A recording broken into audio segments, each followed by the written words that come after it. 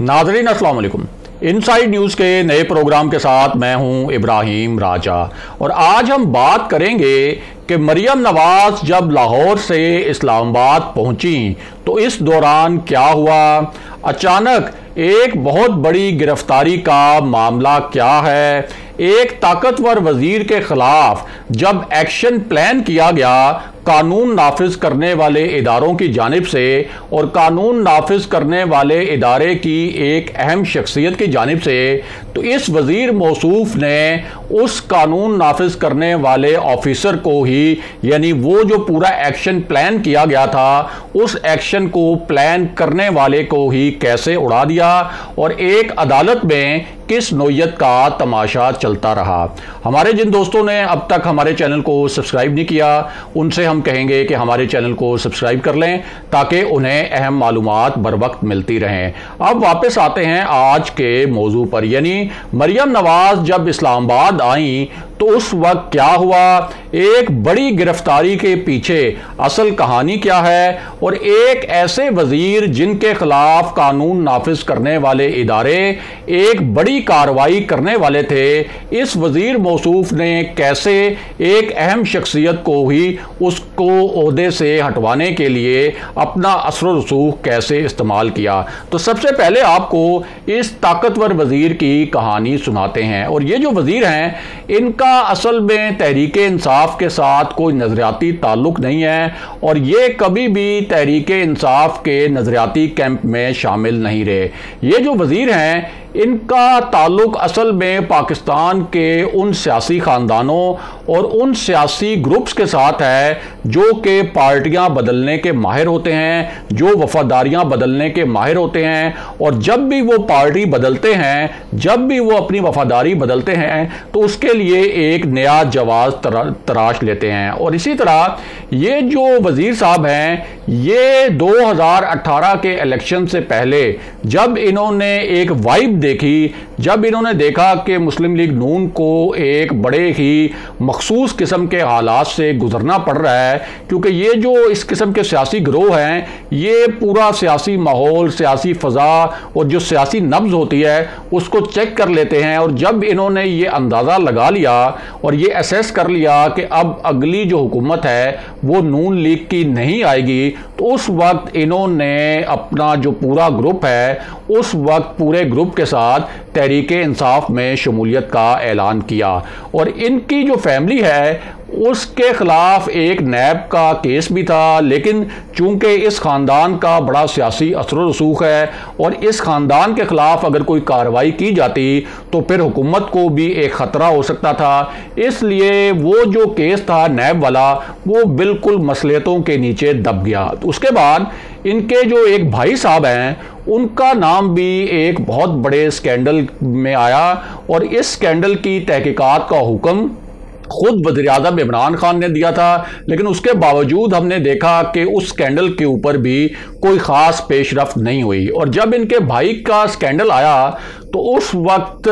इस वज़ीर साहब की जो वजारत थी, वो तो तब्दील कर दी गई, लेकिन उस स्कैंडल के नतीजे में जिस किस्म की कार्रवाई होनी चाहिए थी, उस किस्म की कार्रवाई देखने में नहीं आई। और अब एफ़ आई ए के एक आला शख्सियत जो हैं, उन्होंने ये प्लान किया था, कुछ शाहिद की बुनियाद पर कि इन वज़ीर मौसूफ को तलब किया जाएगा और एक ख़ास मामले पर इनसे तफ्तीश की जाएगी। वो मामला क्या था, वो भी आपको मुख्तसरा बताते हैं। तो आपको बताएँ कि ये जो वज़ीर हैं, इनका ताल्लुक जनूबी पंजाब से है और इनके ख़ानदान की जो एक शुगर मिल है, जो टू स्टार शुगर मिल कहलाती है, उसके बारे में एफ़ आई ए को पता चला कि इस शुगर मिल में कोई तेरह करोड़ रुपए के जो शेयर हैं, वो खुसरो बख्तियार जिन वज़ीर साहब का हमने आप से ज़िक्र किया था, उनके भी हैं। तो एफ़ आई ए चाहती ये थी कि इनको तलब किया जाए और उनसे इस मामले पर तफ्तीश की जाए और कुछ वजाहत तलब की जाए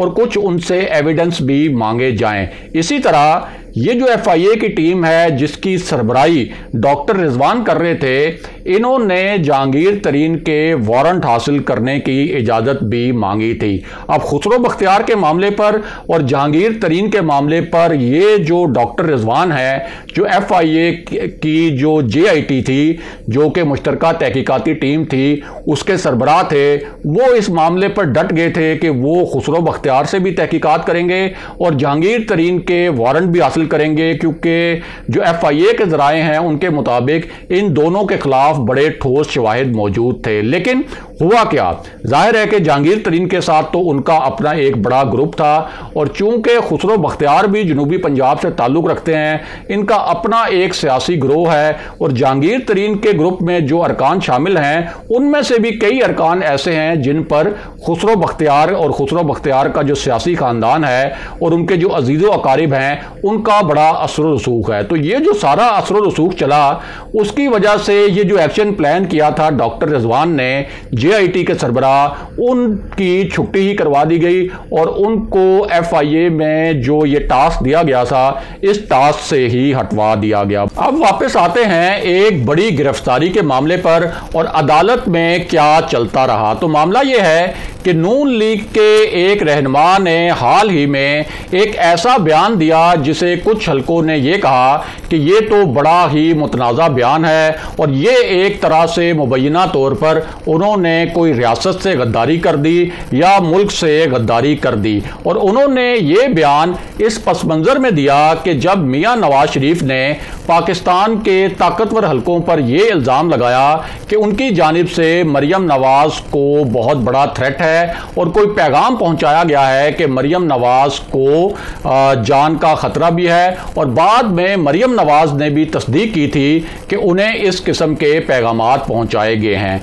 अब इस पस मंज़र में जावेद लतीफ़ जिन रहनुमा का हमने आपसे ज़िक्र किया, उन्होंने ये कह दिया एक टीवी प्रोग्राम में कि अगर मरियम नवाज़ को कुछ होता है तो उसके बाद फिर आसिफ अली जरदारी ने जिस तरह से बेनज़ीर भुट्टो की शहादत के बावजूद और बेनज़ीर भुट्टो की शहादत के बाद भी पाकिस्तान खप्पे का नारा लगाया था, हो सकता है कि मुस्लिम लीग नून की पॉलिसी आसिफ अली जरदारी और पीपल्स पार्टी की पॉलिसी से मुख्तलिफ़ हो। अब उनका ये जो बयान था, उसके बाद उनके खिलाफ गद्दारी के मुकदमात की दरखास्तें भी दी गई और एक जो दरख्वास्त थी, उसके ऊपर बड़ी ही ज़बरदस्त किस्म की आप ये कह सकते हैं कि एग्रेसिवली समात हुई। पहले तो आपको बताएँ कि इस समात के दौरान क्या हुआ? हुआ ये कि सरकारी वकील जो थे, उन्होंने ये मौक़ अपनाया कि जावेद लतीफ़ का जो बयान है, वो अपने लीडर की मोहब्बत की हदूद जो है,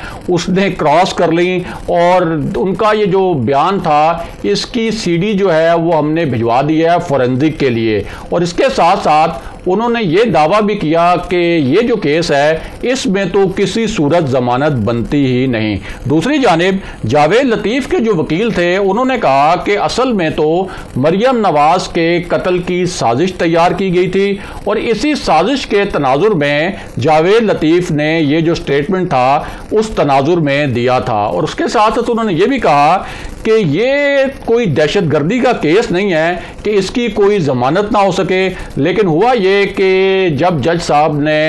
दोनों तरफ़ के दलाइल सुने तो उन्होंने जावेद लतीफ़ की गिरफ्तारी का हुक्म दे दिया। और जब ये हुक्म दिया गया, उस वक्त तक जावेद, लतीफ़ को शायद मालूम हो चुका था या उनके वकला भी ये भांप चुके थे तो उस वक्त जावेद, लतीफ़ अदालत से जा चुके हुए थे। लेकिन बाद में अदालत से जाने के बावजूद जावेद, लतीफ़ को गिरफ़्तार कर लिया गया। अब इस पूरे मामले पर मरियम नवाज़ ने अपने जो पार्टी रहनमा हैं, उनको क्या हदायत की? एक तो आपको बताएँ कि जावेद लतीफ़ की गिरफ्तारी पर शहबाज शरीफ जो मफामत की सियासत करते हैं, उनकी जानब से कोई ख़ास जो है वो मजम्मती बयान नहीं आया और उन्होंने एक, बस आप ये कह सकते हैं कि ढीला ढाला किस्म का बयान दिया। ताहम हमारे ज़राए के मुताबिक मरियम नवाज़ ने नून लीग के जो दीगर रहनमा हैं, उनको ये हदायत की कि जावेद लतीफ़ के लिए आवाज़ उठाई जाए और इस मामले पर किसी भी वो मफामत का शिकार ना हो, किसी मसलहत का शिकार ना हो और खुल कर जावेद लतीफ़ की की गिरफ्तारी की और उनके ऊपर जिस तरह से गद्दारी के मुकदमात बनाने की कोशिश की गई, इस मामले की मजम्मत करें। इसके साथ साथ उन्होंने एक स्टेटमेंट भी दिया और उनका कहना था कि रियासत का काम अपने लोगों के हकूक़ की हिफाजत करना है, ना कि उनकी हुबल वतनी पर शक करना और उन पर जाली मुकदमे बनाना भी रियासत का काम नहीं है। इसके साथ साथ उन्होंने ये भी कहा कि जावेद लतीफ़ उतने ही मुहब वतन है जितना कि पाकिस्तान का कोई और शहरी हो सकता है। उनका कसूर सिर्फ़ ये है कि उन्होंने आइन की कानून, आइन और कानून की बालादस्ती की बात की और जब आइन और कानून की बालादस्ती की कोई बात करता है तो उसको उसके बाद कई ऐसी उन्होंने कुछ कोर्ट किए मामलात के, उसको फिर उसकी सज़ा मिलती है। इसके साथ साथ उनका ये भी कहना था कि असल में तो कानून की और आइन की बालादस्ती के लिए जो जावेद लतीफ़ ने आवाज़ उठाई, ये तो एक तरह से हुबुल वतनी है। और उसके बाद नून लीग का जो सोशल मीडिया सेल है, जिसको मरियम नवाज़ कंट्रोल करती हैं, उस पर एक बाबा we stand with Javed Latif का ट्रेंड भी चलाया गया। और उसमें भी बड़ी एग्रेसिव नोयत की और बड़ी हसास नोयत की ट्वीट्स भी की गई। अगले प्रोग्राम तक के लिए खुदा हाफिज़।